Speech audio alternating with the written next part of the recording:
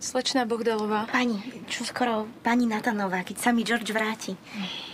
A vy ste pacientkou doktorky Turčanovej. A ona vám neodporúčila operáciu? Samozrejme, že odporúčila.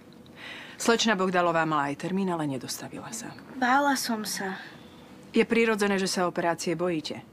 Hysterektómia vo vašom veku môže spôsobiť hormonálne výkyvy, stratu libida, predčasné stárnutie, psychické problémy. Nikto nechce prísť o vaječníky a maternicu v 30 rokoch.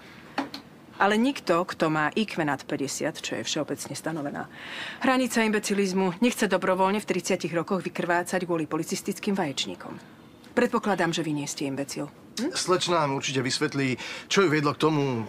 Dieťa, dieťa. E, My s Natanom plánujeme e, dieťa. A, a keď mi teraz všetko vezmete, tak, e, tak ho mať nebudem. No mŕtva ho mať tiež nebudete. A, dobre, slečnú Bohdalovú ešte nepoznám, takže navrhujem, že urobím všetky vyšetrenia a testy a potom sa dohodneme ako ďalej.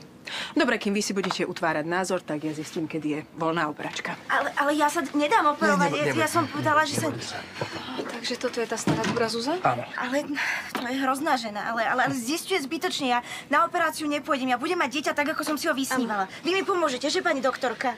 Um, jasné, pani doktorka je zázračná a urobí všetko, čo je v jej silách. Dobre?